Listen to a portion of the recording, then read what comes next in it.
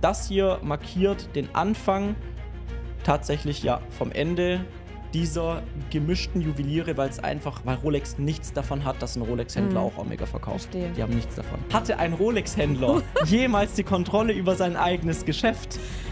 Aber das ist eben der Punkt. Jetzt ist, jetzt ist die Frage, muss sich der Kunde schick anziehen für einen Rolex-Händler und muss der Rolex-Händler nicht trotzdem den Kunden freundlich und respektvoll behandeln? Die Frage ist, wird die Wartelistensituation dadurch eine andere? So, gestern hat's geknallt. Ähm, ich saß hier nichts ahnend und ein Freund, der bei Bucherer arbeitet, schreibt mir schon so am frühen Nachmittag: Kai, heute gibt's riesige News, ich darf dir leider nicht sagen. Und dann, paar halbe Stunden später, die Breaking News: Rolex hat Bucherer gekauft. Und das hat natürlich ein riesen äh, Feuerwerk ausgelöst Da an Reaktionen. los. Ja, ähm, wir haben auf Hottinkey Watch Pro hat natürlich Neuigkeiten rausgebracht. Es haben viele Leute kommentiert, wir gehen auch die Kommentare durch. Es gab natürlich auch eine Pressemitteilung von Rolex und heute diskutieren wir mal das Thema. Ähm, wir gehen dabei vor erstmal, was genau ist überhaupt passiert, Mhm. ne? Was bedeutet das überhaupt und was ist eigentlich auch mit solchen Themen wie Kartellbehörde? Ist das überhaupt schon durch oder kann das nochmal revidiert werden? Ganz wichtig, was ändert sich für uns Kunden Ja. am Ende des Tages? Und bedeutet das am Ende des Tages sogar, dass Rolex auch wie Audemars Piguet in die Boutique-Only-Strategie geht und das sozusagen das Ende der Rolex-Händler ist? Das alles werden wir heute diskutieren. Und ich freue mich, dass ich hier meine wunderschöne Frau Jenny Hi. als Gast mit dabei habe. Der ein oder andere kennt sie vielleicht vom Uhrenkanal Jenny L. Äh, auf Englisch macht sie da auch international äh, Uhren-Content und ich würde sagen, äh, wir fangen direkt an. Was ist denn überhaupt passiert? Mhm. Ähm, gestern kam das eigentlich wie so ein. Wo warst du als, Ich äh, war also hast du's- tatsächlich bei meinen Eltern zu Hause und ich, ich gehe durch Facebook und äh, ich bin in, so wie du auch und ihr wahrscheinlich viele auch, äh, in vielen Uhrengruppen. Und dann sehe ich, dass der Hodinky-Artikel geteilt wurde. Ich so, um Gottes Willen. Rolex Sofort kauft Bucherer. Rolex kauft Bucher. Nicht Screenshot Kai schicken. Ich so, mein Gott, was passiert hier? Und ja, krass. Ja, also da dachte ich mir auch, okay, das ändert jetzt irgendwie doch alles, weil bisher hat Rolex auch immer kommuniziert mit seinen Händlern, wir halten uns aus dem Endkundengeschäft Mhm. komplett raus. Das war wirklich bis letztes Jahr die komple- komplette äh, Kommunikation. Das Einzige, was ich schon mitbekommen habe, was mir jemand gesagt hat, der relativ hoch da in der Hierarchie ist, ähm, dass Rolex die Konzessionen verknappt. Also dass Rolex in Mhm. Deutschland ungefähr ein Drittel der Konzessionen entzieht. Aber ich habe natürlich gedacht, dass das eher so den Effekt hat, dass die wahrscheinlich die, mit denen sie nicht zufrieden sind, wo es nicht so läuft, die sich nicht an die Regeln halten, rausschmeißen und dann mehr mit solchen wie Rüschenbeck, Bucherer Da den Fokus drauf. zusammenarbeiten, Mhm. mit denen es einfach gut klappt. Aber jetzt ist Rolex von einem Tag auf dem anderen faktisch im Endkundengeschäft. Ja, tatsächlich. Aber hat sich ja auch irgendwie angekündigt, wenn man überlegt, äh, in der Pressemitteilung von Rolex stand ja auch, dass, ähm, ich kann mich nicht dran erinnern, wie genau das formuliert wurde, aber dass Herr Mangels Bucherer eines Nachfolgers. Ermangelung. In Ermangelung eines Ja, Nachfolgers, genau. ja. äh, einfach mit 87 hatte Herr Bucherer niemanden, der das Geschäft übernimmt. Und äh, so wie sich das liest, hat Rolex und Herr Bucherer sich gedacht, hey, na dann kaufen wir das doch. Ich glaube tatsächlich auch, der Herr Bucherer, der weiß einfach, der Rolex-Hype oder der Hype um die Uhren ist vorbei. Und das bedeutet einfach auch, ich glaube, dass der einfach weiß, der ist 87, der Mhm. hat keinen direkten Nachfolger, der es übernehmen wird. Für den wird's nicht mehr besser. Nee, Dem sein denn? Unternehmen wird nie wieder mehr wert sein als heute. Als 2021 praktisch war es wahrscheinlich Gut. so am Maximum, aber da konnte es noch keiner wissen. Und Nee. ich glaube, jetzt ist langsam so, die haben da wahrscheinlich angefangen zu reden. Wahrscheinlich reden die darüber auch schon ein bisschen länger. Kann ich auch gut vorstellen. Certified Pre-Owned kam auch mit Bucherer. Das ist sicherlich kein Zufall Stimmt. in diesem War Zusammenhang. bestimmt vielleicht so was wie so ein, so ein, so ein Soft, äh, wie nennt sich das, so ein Soft-Opening. Genau, einfach mal gucken, wie arbeiten wir denn mit Bucherer zusammen, wie funktioniert Mhm, das Ganze. Äh, und jetzt weiß der natürlich, dem sein Unternehmen wird nie wieder mehr wert sein als heute und jetzt verkauft das natürlich besser heute als in fünf Jahren. Krass. Ähm, und ja, das, es wundert auch nicht, dass Bucherer und Rolex das machen. Die sind seit 1924 verpartnert. Ich glaube, Bucherer war der erste Rolex-Konzi sogar. Der allererste? Ich glaube, es war der allererste Rolex-Konzessionär. War es nicht? Ich glaube, ich, weil ich hatte gestern noch so ein bisschen Zeit für Wikipedia. Ich meine sogar, dass es damals so war, dass ähm, Bucherer mit Hans Wilsdorf direkt Ja. ähm, gesagt haben: Hey, hör mal zu, Hans. Wahrscheinlich genau so lief Hey Hans, hör mal, Hör hör mal zu. zu, Bursche. Hans, gib mal, gib mal ein paar Uhren ran. Ich verkaufe die.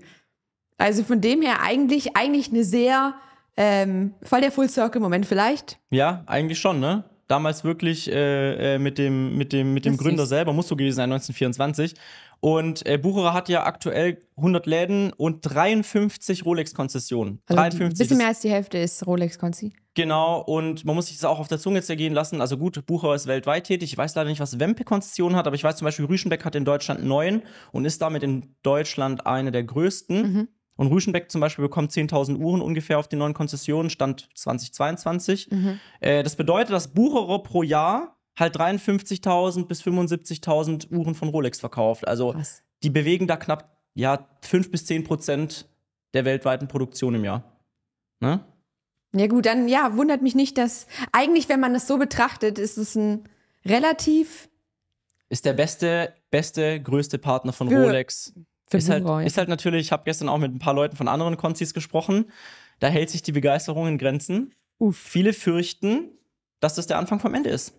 Für, für Rolex Concis. Für Rolex-Konzis, für alle anderen, ne?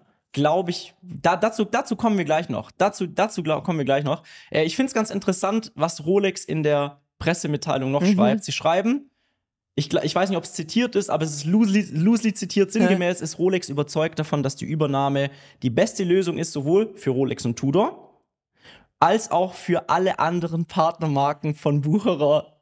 Frech. Was sollen sie sonst Frech. sagen? Ich wollte es gerade sagen, was? Ich meine, klar, für die eigene Marke und tu top. Definitiv. Also brauchen wir jetzt nicht Brauchen sagen. drüber zu reden. Aber ja, da finde ich, ähm, da haben wir einen coolen äh, Kommentar auf Hodinky gesehen. Da, ich meine, man Den kann, blenden wir auch gleich ein. man kann bei den Artikeln auch kommentieren. Und da ging es darum, dass jemand gefragt hat äh, oder sich fragt, wie sich denn jetzt andere Marken fühlen, wenn ähm, sie geretailt werden durch eine, eine Rolex, ähm, durch ein Rolex-Subunternehmen. Rolex? Ja. Ich meine, also, wie geht's? stellt euch mal vor, Patek Philippe und Omega wird jetzt durch Rolex verkauft. Kommen wir damit zu einer kurzen Unterbrechung in eigener Sache. Nach fast zwei Jahren Entwicklungszeit haben wir nun endlich die perfekte eigene Uhrenrolle von unserer eigenen Marke Leinbach entwickelt. Die Rollen werden ab September zum Kaufen verfügbar sein und du kannst dich ab jetzt unter leinbach.shop unverbindlich vormerken lassen. Für alle Vormerker gibt es einige kostenlose Extras zu jeder Uhrenrolle mit dazu, die es nur für Vormerker gibt und unsere Uhrenrollen sind die perfekte Aufbewahrung, um deine Uhr sicher, stilvoll und auch stoßfest zu transportieren. Daher klicke jetzt hier oben oder unten in der Videobeschreibung, gehe auf leinbach.shop und lasse dich jetzt unverbindlich vormerken. Und damit zurück zum Video. Ist doch. Wo Das sind wir denn hier? Ja, schon. Und das ist halt auch die Frage, was, was macht Patek Philippe da? Was machen Omega? Hm. Was macht Omega da? Vor allem Omega und Rolex sind ja zumindest so, was die Kunden angeht, ist ja oft so Omega gegen Rolex so. Stimmt. Omega ist besser. Rolex ist besser.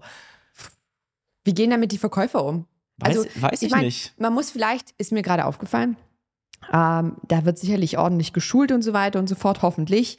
Ähm, darüber sprechen wir bestimmt auch noch.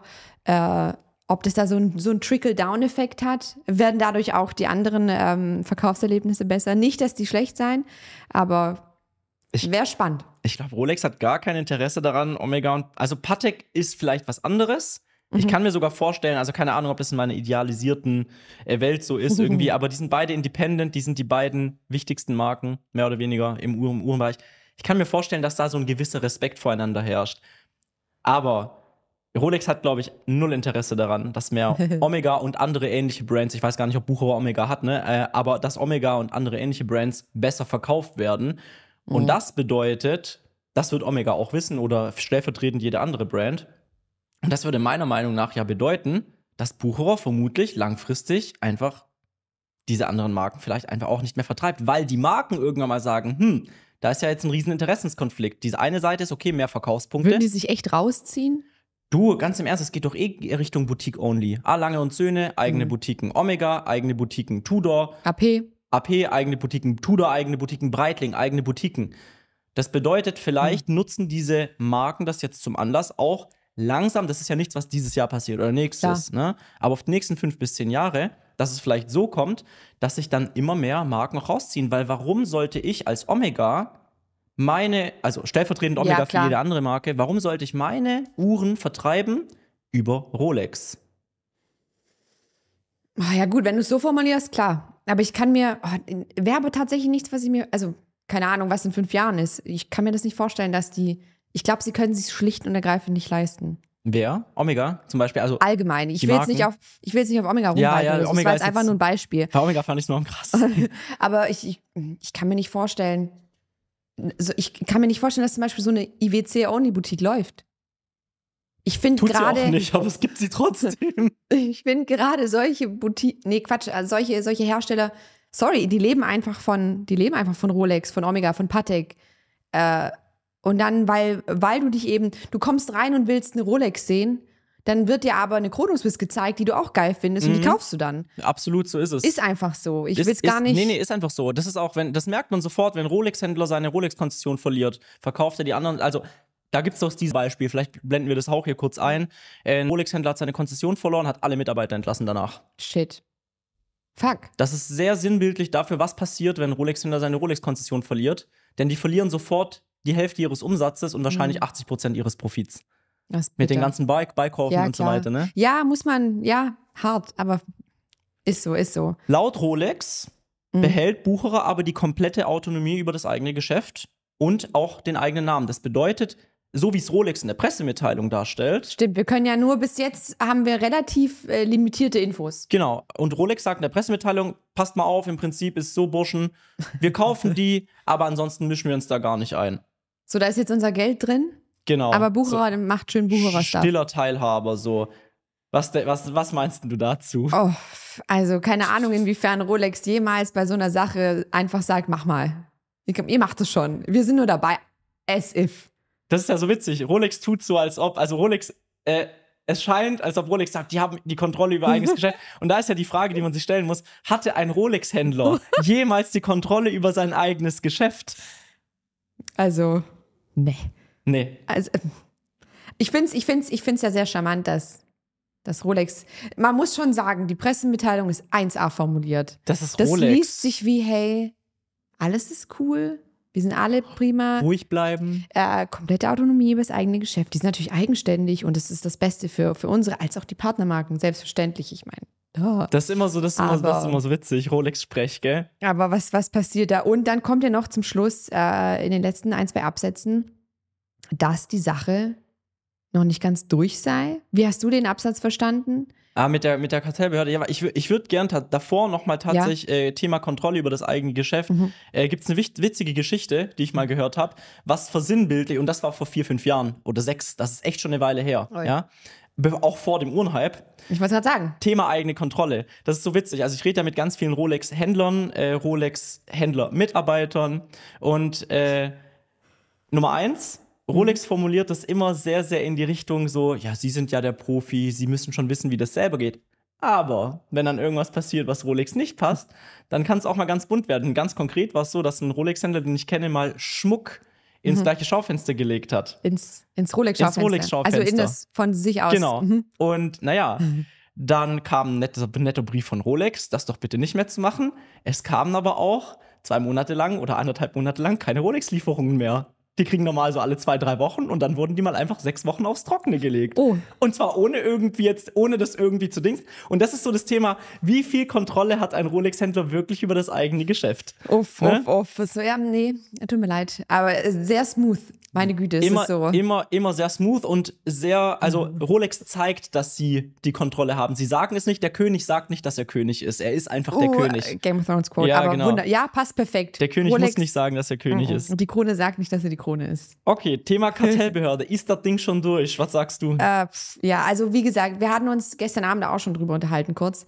Ähm, die Tatsache, dass Rolex in der Pressemitteilung sagt, hey, äh, natürlich muss es noch über das was Wettbewerbsbehörde geprüft die sein. Wettbewerbsbehörde, Das ja. wird ähm, so nach dem Motto, das ist dann in trockenen Tüchern, wenn die Wettbewerbsbehörde dem zustimmt. Genau. Aber mal ganz ehrlich, als ob, als ob Rolex sowas rausballert, um dann zu sagen, ah Leute, sorry, hat doch nicht funktioniert. Das muss man in so einem halben Jahr so, hey Leute, hat gar nicht geklappt. so, ah nee, da, was, Bucherer? Nee, Nee, hat, Bucher, hat sich lass mal erledigt. bleiben. Okay, ja, ist ein guter, ja, ist ein guter Punkt. Als ob. Also, das bedeutet, wenn Rolex sich entscheidet, die wissen, was sie machen. Die wissen, glaube ich, besser, was sie machen als jeder andere. Das hat ja kein Praktikant geprüft. Das hat kein Hoffe ich. Praktikant geprüft, glaube ich.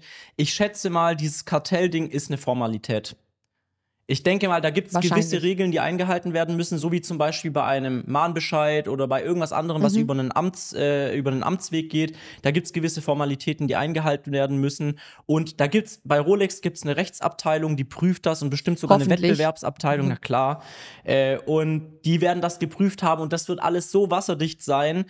Das ist meiner Meinung nach schon zu 100% durch. Nicht mal 99, Ich kann es mir nicht anders vorstellen. ja, glaube ich auch. Also ich, ich glaube, wenn da jetzt jemand sagt, hey, aber wartet mal, was wenn die, wir müssen jetzt mal abwarten, was die Kartellbehörden sagen, müssen wir, aber die werden einfach sagen, jo, passt. Weil sonst hätte Rolex niemals eine Pressemitteilung gemacht und das Fass aufgemacht. Weil das wäre ein. PR-Desaster und Rolex hatte noch nie Also ein PR-Desaster. keine Ahnung, was ich dann mache. Ich sage jetzt nicht, ich fresse einen Besen oder so, weil ich würde es nicht tun, wenn es so wäre. Ja, Aber passiert nicht. Quatsch. Passiert Quatsch. nicht. Aber ja, ich verstehe es. Ganz viele haben es auch in den Kommentaren, habe ich gesehen, ähm, sich darüber unterhalten. So, ja, aber wenn das nicht durchgeht und, und Kartell und Pipapo,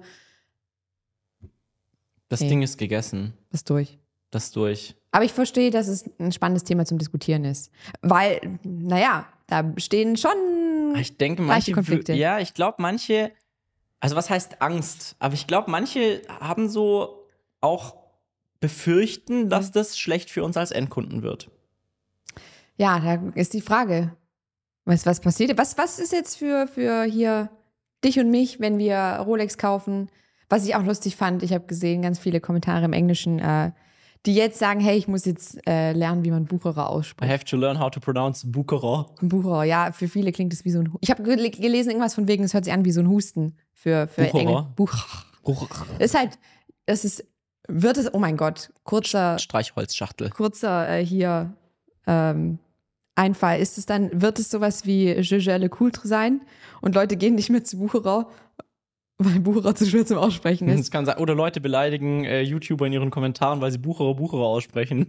Porsche. Porsche. Porsche. Okay, ja. Aber ja, ähm, was bedeutet das für uns? das bringt was uns- denkst du, was passiert? Zum nächsten Punkt, was ändert sich für uns als Kunden? Ich glaube, wir müssen erstmal anfangen bei der aktuellen Situation. Also hier können wir jetzt natürlich vor allem nur für Deutschland sprechen, ne? Stimmt. Äh, aber ich habe in vielen Videos gesehen, zum Beispiel Nico, äh, Nico Leonhardt, äh, beste Grüße gehen raus an der Stelle, äh, hat auch in vielen Videos, vor allem die letzten Jahre, auch immer wieder thematisiert, dass Rolex Customer Experience beschissen ist. Und äh, das ist sogar einer der Gründe, er hat mal so ein Ranking gemacht mit Uhrenbrands. Im Mhm. ersten Video war Rolex praktisch auf, auf God-Tier-Level, also auf dem höchsten Level. Und er hat die runtergestuft, weil er gesagt hat, yo, mit so einer Customer Experience kann ich euch nicht mehr als beste Uhrenmarke äh, äh, ähm, äh, praktisch einordnen. Und da Mhm. hat er, finde ich, auch einen Punkt. Wie ist die aktuelle Situation in Deutschland? Was würdest du denn sagen, und in Italien, ähm, was würdest du denn sagen, wie ist die aktuelle Situation in Deutschland aktuell für die Kunden? Ich meine, man muss ja sagen, ich bin jetzt nicht so oft in ADs in letzter Zeit, äh, aber war noch nie wirklich so, dass ich sage, hey, beziehungsweise ist es, war es einmal so? Ich, ich könnte schwören, ich muss gerade echt überlegen, habe ich schon einmal, wo ich gesagt habe, hey, war richtig geil. Vorausgesetzt, dass mich der Laden nicht schon vorher kannte. Genau, das, muss man immer das sagen, Ding. wenn wir mit irgendwelchen Händlern zusammengearbeitet haben, dann ist ja super klar, dass die mit uns, dass die uns jetzt nicht wie Fußabtreter behandeln. Hoffentlich, Ähm, aber hoffentlich. ja. Aber, Aber- ja, so kalt in den Laden reingehen, wo man uns auf jeden Fall nicht kennt. In Italien war es Italien ist halt, ich glaube, da war es die Sprachbarriere. Sprachbarriere und vielleicht hätten wir, wir, ja, man hätte beiderseits Ja, sicher, ich hätte mich auch schicker anziehen können Ich und ja so. auch. Das ist, ja, das ist ja sicherlich auch äh, kein. Aber das ist eben der Punkt. Jetzt ist, jetzt ist die Frage: Muss sich der Kunde schick anziehen für einen Rolex-Händler und muss der Rolex-Händler nicht trotzdem den Kunden freundlich und respektvoll behandeln? Ist das. Man kann ja trotzdem das Ganze luxuriös gestalten und hier den Frame setzen. Hey, das ist Mhm. alles super schwierig zu bekommen und sie haben ein Riesenglück, eine Rolex zu bekommen. Aber kann man das nicht auch so machen, dass der Kunde sich gut fühlt? Und die Frage ist auch, war das in der Vergangenheit so? Da war ja der, auch der Kommentar, den fand ich ganz cool, den habe ich mir auch rausgesucht. Ähm, da hat einer geschrieben bei Hodinki unter dem Artikel, dass wenn jetzt ähm, Rolex im, im Retailer-Geschäft direkt mit drin ist, können wir denn jetzt erwarten, dass, dass die Spielchen aufhören, dass man sich endlich mal als, als Kunde geschätzt und, und äh, wichtig fühlt? Egal wie man, wie du sagst, egal wie man. Klar, wenn ich da mit Mattschuhen reinlaufe, ja, uncool, oder, oder, oder whatever. stinkend oder besoffen, whatever. Darüber ne? reden wir ja Darüber nicht. reden wir nicht. Nee, das Problem ist tatsächlich so, also ich habe wirklich sehr, sehr gute Kauferlebnisse gehabt, auch kalt bei Rolex-Händlern. Mhm. Ähm, egal, ob die jetzt äh, mich kennen oder nicht kennen. Ich denke, die, viele kennen mich nicht. Ich denke, manch einer kennt mich vielleicht. Und ich war jetzt vor, äh, vor ein paar Tagen in München und hatte da zwei Erlebnisse, wie sie verschiedener nicht hätten sein können. Äh, das Schlechtere war Hast du witzigerweise. auch in deinem Newsletter geteilt? Habe ich in meinem Newsletter geteilt, genau. Ähm, habe auch sehr viel Feedback bekommen von Leuten, denen es da ähnlich ging, denn ich war Mhm. beim ersten Händler und es war, es war paradox. Da ist eine Verkäuferin gewesen, die hatte, die hatte keine Ahnung. Also Mhm. sie war offensichtlich eigentlich eingeteilt für Rolex, Mhm. Äh, weil ich habe sie, also sie, sie ist auf uns zugekommen und ich habe sie irgendwann höflich gefragt, ob wir noch kurz warten sollen auf eine Kollegin oder so. Also nicht so, dass sie jetzt sich äh, blöd fühlt, aber sie hat gesagt, nein, nein, so nach dem Motto, sie Ja. war für Rolex offensichtlich mitverantwortlich und sie konnte nicht die neuen Modelle von den alten unterscheiden. Sie wusste nicht mal, dass eine Day-Date kein Sportmodell ist. Also es war wirklich, es war absurd. Wir waren da drin mit Schade. zwei Freunden Mhm. und der eine Freund hat gesagt, er würde sich gern für dieses Stahl-Gold äh, GMT Master für die neue Mhm. aufschreiben lassen. Und dann meinte sie ob, sie, ob er schon im System ist. Er hat gesagt, ja, ich bin schon im System. Dann hat sie praktisch im iPad ihn eingegeben, hat gesagt, naja, sie sind aber schon für zwei Sportmodelle auf der Warteliste. Das heißt, sie müssten eins canceln, damit ich sie aufnehmen kann. Mhm. Das ganze, das ganze Gespräch war auch wirklich, also sie war wirklich, sie war sehr unhöflich. Schade. Sie war sehr unfreundlich und was ich denke, ist, sie wollte ihre Unwissenheit überspielen mit lieber unfreundlich, anstatt dass sie sagt, hey, hört mal zu, ich bin noch nicht so lange dabei. Äh, Mhm. mh, Deswegen äh, bitte entschuldigt, dass ich vielleicht noch nicht alles 100% beantworten kann. Bei Bedarf holen einen Kollegen. So, so würde ich es machen ne? und so würde ich es auch erwarten. Ist ja auch voll in Ordnung. Sagt ja keiner was. Äh, dann hat er gesagt, hey, das kann doch gar nicht sein. Seiner Meinung nach steht er für eine Platin Daytona und eine Platin Day Date Mhm. auf der Warteliste. Äh, und die Platin Day Date sei doch ein klassisches Modell. Dann antwortet die Dame, nee, bei uns ist das ein Sportmodell. Und vom Nachbartisch, die Verkäuferin vom Nachbartisch Mhm. guckt schon die ganze Zeit so halb genervt rüber, weil die so einen Mist verzapft hat. Wahrscheinlich schon mit halbem Ohr zugehört. Genau, und dann schreit die wortwörtlich in die, nein, ist es nicht. Das ist Ah, kein shit. Sportmodell Auch für die für, für Mitarbeiter. beide sehr, sehr unangenehm. Klar. Die Frau ist dann noch unhöflicher geworden, weil wir haben auch gemerkt, das war ihr unangenehm. Sie war aber, sie war wirklich sau unhöflich. Also sie war wirklich unfreundlich. Es war doof. wirklich, wirklich blöd. Dann hat sie uns die Daytonas gezeigt, weil ich habe gesagt, hey, sind das im Schaufenster zufällig die Mhm. neuen Daytonas? Ich würde die super gern sehen. Ja, das sind die neuen Daytonas. Dann gucke ich mir die an und sehe schon, die Indizes sind so relativ dick, wie die alten Mhm. Daytonas. Nicht so, sind Sie sich jetzt sicher, dass das die neuen sind? Weil die sehen aus wie die alten. Ja, das sind sicher die neuen. Dann gucke ich aufs Referenzschild 116 und habe ich gesagt, äh, ich glaube, das sind die alten. Nee, nee, das sind die neuen. Und die Kollegin von nebenan, nein, das sind nicht die neuen. Die neuen haben wir noch gar nicht. Ah, da. Naja, äh, dann auch gefragt, ein Freund von mir wollte gerne eine Uhr kaufen. Ihm wurde gesagt, das geht nicht, aber ihm wurde keine Begründung gegeben. Ihm wurde nicht irgendwie gesagt, hey, lassen Sie sich doch ausschreiben und so weiter. Es war einfach, nee, geht nicht, Sie können die Uhr nicht kaufen. Sie können sich höchstens auf eine Warteliste eintragen lassen, aber kein Warum, kein nichts. Dann sind wir danach zum nächsten Händler und das war super. Da war ein top ausgebildeter, junger Kerl, der war maximal 25, cool. würde ich schätzen.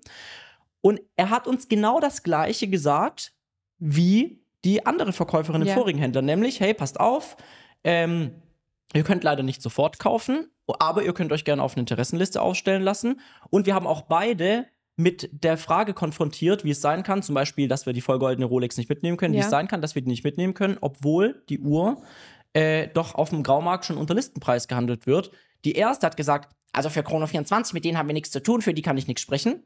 Und der zweite hat, das war eine perfekte Antwort. So ist gut ausgebildet verkaufen. Er meint, hören Sie zu, wir wollen Sie sehr, sehr ungern natürlich als Kunden verlieren. Und Schön. ich kann Sie sehr gerne einfach auf die Liste aufnehmen. Und ich kann Ihnen auch sagen, so, das ist offen, authentisch. Ich kann Ihnen sagen, die Nachfrage ist schwächer geworden. Es ist sehr viel leichter geworden, diese vollgoldenen Modelle zu bekommen. Da haben Sie völlig recht. Es ist nur so, wir haben einfach von 2021 und 2020 immer noch Anfragen offen. Und was wir jetzt halt machen, ist, wir fragen erstmal die, ob sie noch Interesse haben. Und erst wenn das nicht der Fall ist, dann würden wir praktisch neue Kunden dann praktisch anrufen. Aber er schätzt ein paar Wochen bis wenige Monate Wartezeit. Ne? Vollkommen in Ordnung. Mega cool, dass er sagt, ich möchte sie als Kunden natürlich nicht verlieren, aber wenn sie woanders die Gelegenheit haben, dann dürfen sie natürlich auch dort einkaufen. Das ist dieser respektvolle, Perfekt.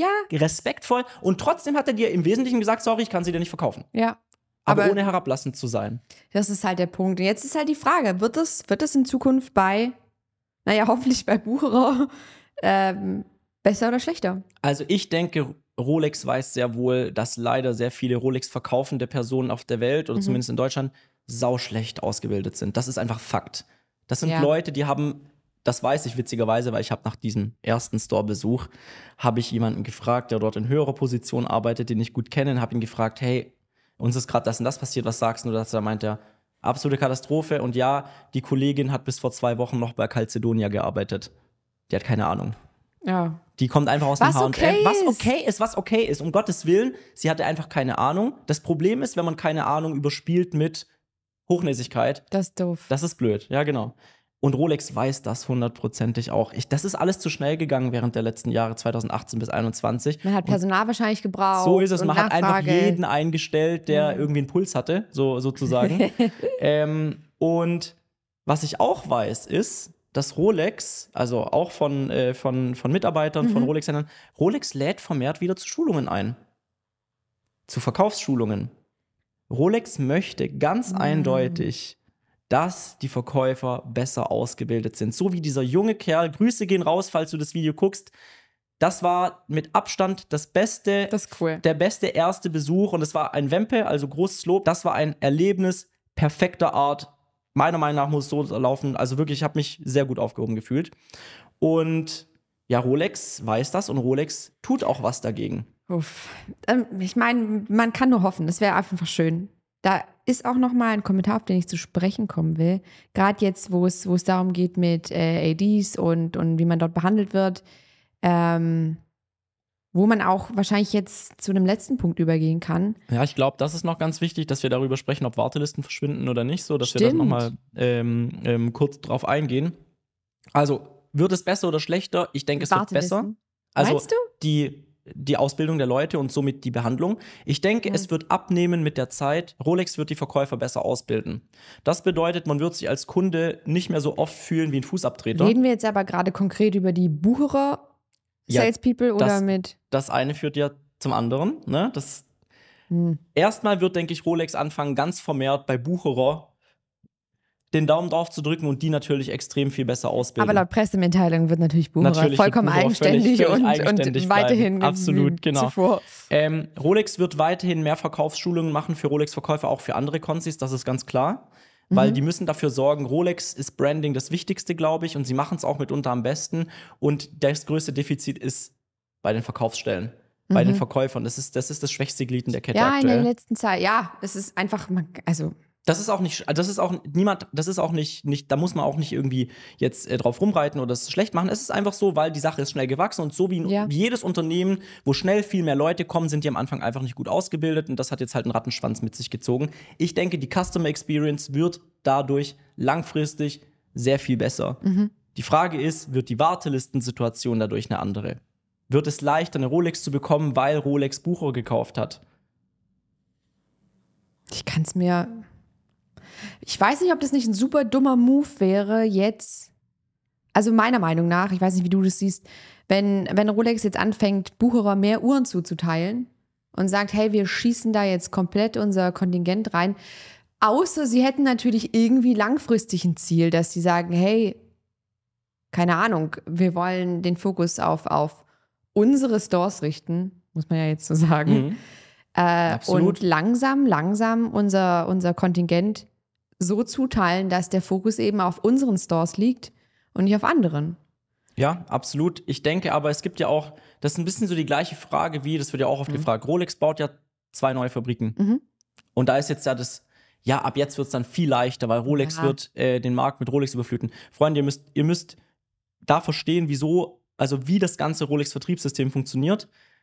Es funktioniert so, dass es immer eine Vorqualifizierung geben wird. Ihr werdet, es wird immer Wartelisten geben. Die Modelle im Laden werden auch immer for Exhibition only sein. Das ist, um die Begehrlichkeit anzu, anzudingsen. Und es, also, es ist auch keine künstliche Verknappung, denn das führt dazu, dass die Nachfrage hochgeht. Es gibt so, ein, so viele Experimente und äh, wissenschaftliche Studien. Verlangen wird größer, wenn du das, was gewünscht wird, entziehst. Gib einem Kind einen Lolli, nimm ihn ihm wieder weg und das Verlangen nach dem Lolli wird exorbitant größer. Geh, zeig dem Kunden eine Rolex und sag ihm, er darf sie nicht kaufen. Verlangen, Nachfrage wird größer. Das ist Fakt. Und deswegen, das System wird so bleiben. Warum baut Rolex jetzt neue Fabriken, um den Markt zu fluten? Nein, um die Nachfrage, wenn sie dann da ist, besser befriedigen zu können. Also, Punkt Nummer, äh, ähm, Schritt Nummer eins, die Modelle präsentieren und begehrlich machen. Schritt Nummer zwei, vor Ort sagen, hey, Modelle sind nicht sofort äh, äh, erhältlich, Begehrlichkeit somit erhöhen. Schritt Nummer drei, wenn die Begehrlichkeit so groß ist, dass der Rolex-Händler und Rolex wissen, die Kaufwahrscheinlichkeit ist sehr hoch, dann so schnell wie möglich ein Modell an anbieten. Und genau das ist der Punkt, der mit diesen neuen Fabriken gelöst wird, dass die Nachfrage, wenn sie diesen diesen kritischen Punkt überschritten hat, dass die so schnell wie möglich bedient werden kann. Denn auch Rolex verliert Geld, wenn diese Nachfrage über diesen Punkt raus ist und sie können die Uhr dann nicht anbieten. Ich denke, es ist vielleicht auch ein bisschen der Schritt hingegen, dass man dieses, äh, das öffentliche Bild, was sich so ein bisschen shiftet, diese, diese Brand Perception, die Rolex hat, Ja. dass die auch ein bisschen wieder abgemildert oder verbessert wird. Ja, wie ist denn die Brand Perception äh, deiner Meinung nach Ich meine, aktuell es ist ja vollkommen salonfähig äh, zu sagen, dass Rolex äh, und dann jetzt hier ein Schimpfwort einfügen sind, weil die die Leute nicht, nicht gut behandeln, die Salespeople. keine guten Uhren. Genau, es sind keine guten Uhren. Das ist jetzt. Nur ich, Proleten ich hab's tragen ge- Ja, das. das, das shiftet sich jetzt halt, oder das hat sich, das ist jetzt nicht jetzt passiert, aber der Shift geht jetzt rum, dass, dass es, ja, man, man ist halt verprellt, verständlicherweise. Man wurde verprellt. Viele, ja. Und dann missfallen einem die Uhren auch und dann findet man das doof und das schlecht und das ist blöd. Weil, ja klar, man, man ist beleidigt. Ich, hätt, ich würde lügen, wenn ich jetzt nicht aussage, dass ich manchmal echt beleidigt Ja, bin. ich Wenn bin auch sag, manchmal hey, beleidigt. Ist doch, ist doch blöd, ich will das haben, ich krieg's nicht. Ich will eine schöne Zeit. Ich arbeite hart für mein Geld und will dann die Zeit, die ich so mit Shoppen verbringe, schön verbringen und nicht, Ja. indem mir irgendjemand sagt, ja, bist ein, haha, nee, du bekommst keine Uhr. Ist kein, cool, ja, ist kein cooles Gefühl. Und dann ist man beleidigt und dann kann ich das vollkommen verstehen, dass jetzt, ja, ich meine, das, das eine führt zum anderen und dann wundert es mich nicht. Und deswegen fände ich das jetzt auch interessant zu sehen, ob, ob dadurch, wie du jetzt sagst, mit den neuen Fabriken, ob das auch so ein, natürlich das physische Begehren äh, irgendwie befriedigen, aber dann auch zu sagen, hey, hoffentlich wird es dann in Zukunft auch wieder langfristig ein bisschen besser geredet über, über die Marke, über. Das wird das, das wird das Ziel sein. Also ich glaube, Rolex, irgendwo scheißen die auch drauf, glaube ich, was jetzt irgendwelche Hater in irgendwelchen Foren sagen, weil, die, weil Fakten sprechen für sich. Trotzdem will irgendwo jeder eine halt Rolex, aber irgendwo fängt es irgendwie an und es kann halt nicht sein, dass das irgendwann mal die Meinung wird auf der Welt, dass Rolex nur eine Angebermarke ist. Ne? Nachher äh, hier, äh, vielleicht nicht ganz so krass, aber das Hublot-Phänomen. Oh, Junge. Hublot tut mir manchmal so leid. Ja, safe. Aber, Nico, Nico. aber so, so kann es kommen. So kann es Ist kommen. jetzt ein krasses Das- Beispiel. Ja, so kann es kommen. Aber irgendwo hat es auch angefangen. Irgendwo hat es auch angefangen und, dann hat es umgeschlagen. Jetzt ist es gang und gäbe. Also Ja, absolut. deswegen krass. Wir sind, äh, wir sind, schauen wir mal, was wird. Schauen wir mal, was wird. Ähm, das ist jetzt natürlich die, ich glaube, es ist der letzte Punkt auch. Ja, genau. Das ist jetzt die spannende letzte Frage. Oh ja. Ähm, wird Rolex Boutique Only gehen mittelfristig? Wird Rolex nur noch über eigene Boutiquen vertreiben oder über eigene eingekaufte Händler? Dann die ganzen anderen Marken praktisch rausstoßen und dann so wie AP in diese Richtung gehen? Also ist das, das, ist das der Anfang vom Ende Der, für Rolex-Konzis? Der, der äh, Land- und Liebe Rolex-Konzis. Genau. Boah, du hast gesagt mittelfristig. Was wäre für dich denn mittelfristig? Ja, die nächsten fünf bis zehn Jahre, ne? Boah, das finde ich, also keine Ahnung, fünf Jahre never. Zehn Jahre? Ja, das, also die Frage ist ja, wo geht's hin? Ist es wirklich Hm. so, wie Rolex sagt, dass alles bleibt, wie es ist, wo wir genau wissen? Oder ist es halt so, dass der Trend jetzt gesetzt ist? Ach, shit. Egal, wie lange es dauert. Ich kann es mir. Das finde ich eine ganz schwere Frage zu beantworten. Ich meine, wir sehen ja jetzt mit AP Boutique Only, die kommen echt ins Schleudern teilweise, habe ich so das Gefühl. Vor Mhm. allem was, was, was den Serviceaufwand Mhm. betrifft für die Uhren, was da an Rückläufer zurückkommen. Die, die, man muss jetzt halt, jetzt muss man halt die ganzen AP-Sales-Leute beeindrucken, um eine AP zu kaufen. Ja, genau. Und äh, man kann halt, die Beikäufe fallen weg, auch für AP. Ja, das ist halt auch wieder so eine Sache, Dann ne? kaufst du dir halt eine Code 1159 und Ah, das ist ja Rolex egal und AP egal, dass, ein, dass irgendein gemischter Juwelier jetzt keinen Schmuck mehr zu einer AP oder zu einer Rolex verkaufen kann. Ist denen mir scheißegal. ist ja nicht egal. Ja, das stimmt. Ach so, ach so. Aber ist ja mir nicht Cartier egal. kaufen, um Patek zu bekommen. ich finde hier den Kommentar von äh, Fruitcake äh, bei Hodinky ganz interessant. I think this spells the beginning of the end for Rolex ADs. Also er denkt, dass das der Anfang vom Ende ist. Ähm, und das ist ganz äh, interessant, was er sagt. Äh, Modern Retail, also moderner Einzelhandel, ne, äh, hat keinen Bedarf für Middleman, also für Zwischenhändler, wie zum Beispiel gemischte äh, Juweliere. Ich kann die Sachen kaufen, die ich möchte und brauche. Ähm, und er gibt da sehr, sehr interessante Beispiele. Apple, Tesla. Auch direkt. Wir kaufen Teslas bei Tesla und wir kaufen Apple bei Apple. Äh, Apple hat Retailer, aber wir alle wissen, also wer kauft sich ein iPhone bei Mediamarkt? Also man kann sich natürlich eins. Man kann sich bei Mediamarkt eins No kaufen, direkt aber über es ist Apple. natürlich geiler, wenn du in Du den. gehst zum Apple Store Apple kaufst Store. ja auf der Apple-Webseite, auch wegen der ganzen Garantie und so weiter. Ja. Ne? Also ist zwar das Gleiche, aber viele wissen das nicht. Das ist ein echt guter Vergleich. Also der Kommentar ist wirklich gut. Wie, wie du sagst, man, man kann. Das ist dieser, dieser, von denen die ganzen äh, Microbrands immer sprechen, cutting out the middleman und so. Mhm. Nee, der Middleman ist, ist dein, dein Konzi ums Eck in der, in der Hinsicht. Und äh, Es ist ja auch langfristig interessant, der, der Rolex-Händler bekommt circa ein Drittel mhm. des VKs. Das bedeutet, Rolex produziert eine GMT-Master für 1000 Euro zum Beispiel, das weiß ich nicht, 1000 Euro oder so oder 700, whatever. Verkauft diese GMT-Master dann für ungefähr 6.500 Euro brutto an den Rolex-Händler hier in Deutschland mit Umsatzsteuer und der verkauft es dann ungefähr für 10.700 Euro weiter und streicht sich so 3.000 Euro Marge ein, also ein bisschen mehr. Äh, wenn natürlich jetzt Rolex langfristig jeden Konzi besitzt, egal ob es jetzt nur Bucher ist oder, oder ob sie jetzt demnächst auch Rüschenbeck und Wempe aufkaufen, ja, Wuff. das ist ja auch, auch eine Möglichkeit. Weil ich meine, warum, warum sollte Rolex, die Infrastruktur ist da, die Mitarbeiter sind da, warum sollte Rolex äh, selber Jetzt Boutiquen anfangen, hochziehen? Boutiquen aufzumachen. Das machen sie nicht. Wenn, dann kaufen die die anderen Standorte auf oder Ja. sie entziehen langsam aber sicher, und das hat, das hat tatsächlich schon begonnen. Ich habe ja am Anfang gesagt, ein Mitarbeiter von einem Rolex-Händler in hoher Position hat mir schon 2022 gesagt, hey, ungefähr ein Drittel aller Rolex-Händler werden ihre Konzession verlieren und das hat sich bewahrheitet. Man hört es alle paar Wochen in den nächsten, also in den nächsten ein, zwei Jahren, Mhm. also dieses Jahr und nächstes Jahr.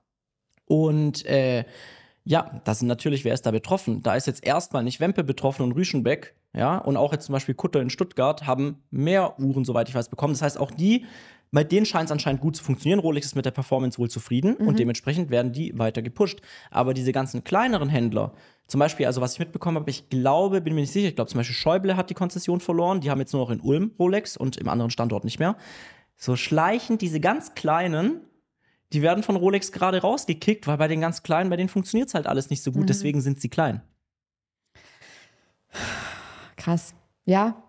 Ja, Aber also du sagst dann, du kannst dir durchaus vorstellen, dass mittelfristig äh, Boutique-only für, für Rolex? Ja, die Sache ist, dass mein Stand war immer, weil mir das auch immer so gesagt wurde von allen Mitarbeitern und äh, von Rolex-Händlern und so weiter, dass Rolex aus dem Endkundengeschäft rausbleiben möchte. Aber jetzt sind sie im Endkundengeschäft. Das heißt, das hast einfach hinfällig.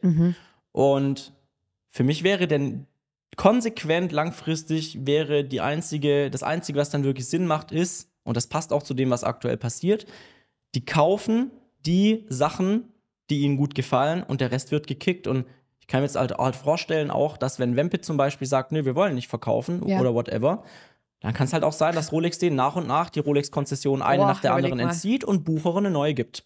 Oder Rüschenbeck. Von den 53, die aktuell Rolex Genau, haben. also, genau. Das heißt, äh, Wempe hat zum Beispiel jetzt vielleicht acht Konzessionen in Deutschland oder soll es 15 sein, ich weiß es nicht. Und naja, dann werden daraus halt 14 und es wird irgendwo ein neuer Bucherer Rolex Store aufgemacht.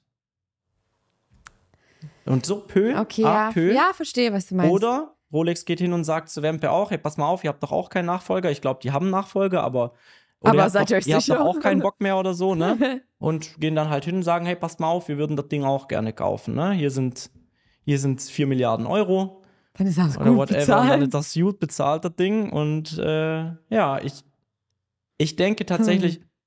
ob es Boutique-only wird oder nicht,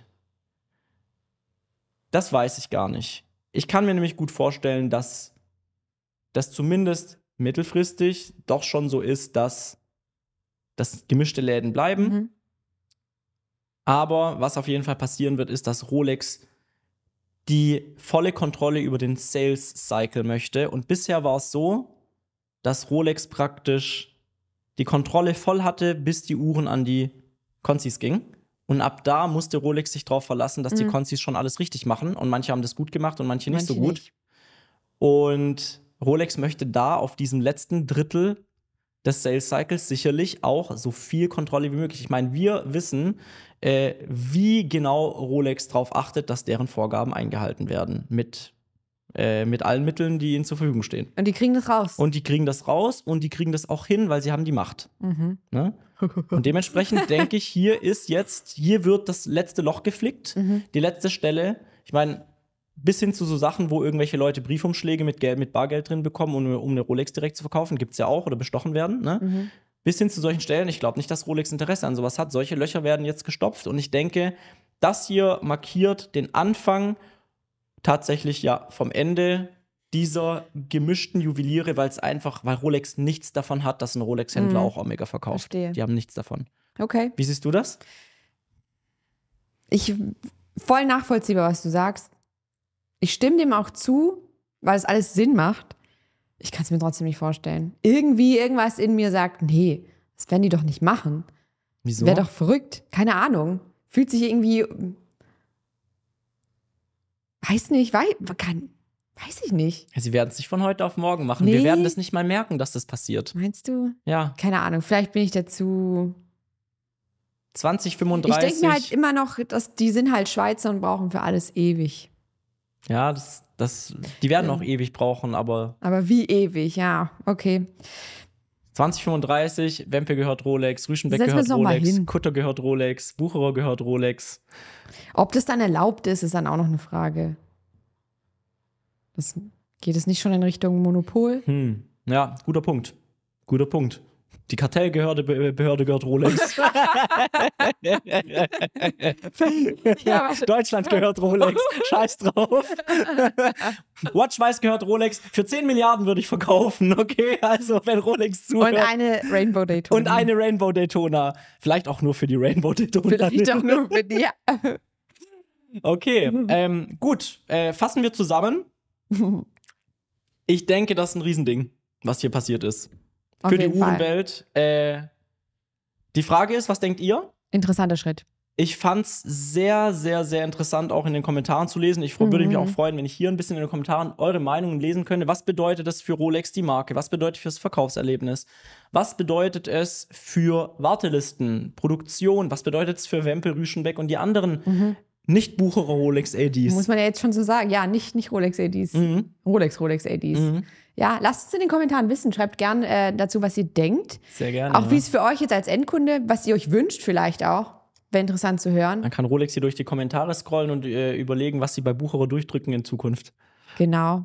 Deshalb danke, danke für, für, für mich einladen. Ja, selbstverständlich. Schön, dass du dabei warst. Hat Spaß gemacht, äh, äh, das zu besprechen. Und ja, äh, wenn euch das gefällt, äh, lasst gerne einen Daumen nach oben da. Wenn ihr mehr Uhren-Content sehen wollt, dann äh, äh, ähm, abonniert gerne diesen Channel und Watchwise Watch Talk, wo wir vor allem nur über Uhren reden und alles abseits behandeln wir eher hier. Und dementsprechend, ich wünsche euch alles Gute, bleibt gesund und munter. Bis dahin. Tschüssi. Tschüss.